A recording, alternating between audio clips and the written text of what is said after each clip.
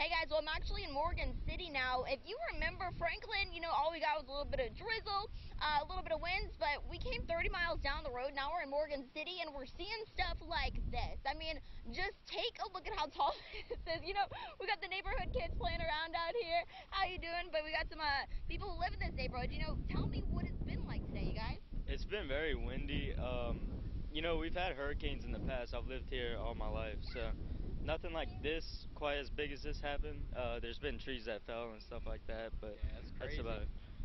I've never experienced anything like this. Yeah, so this is a whole new level for you guys. This kind of stuff over here, huh? Yes, ma'am. Man, and I'm, sorry, go ahead. Oh, I'm just glad something like this didn't happen to us. Uh, yeah. Sure, it'll take a while for, for the them. people who happened this to. Absolutely, and you know, thank you guys so much.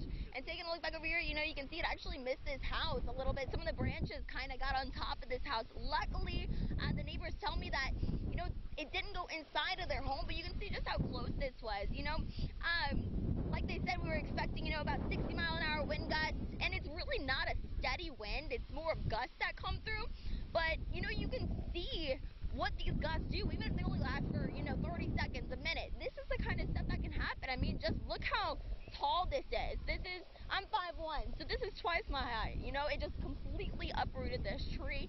Um, in other places in Morgan City, you know, we've seen down power lines, we've seen, uh, you know, electricity lines down, a couple of branches and stuff. And again, we were in Franklin, you know, 30 minutes ago. It's only 30 miles from here, and there was just rain.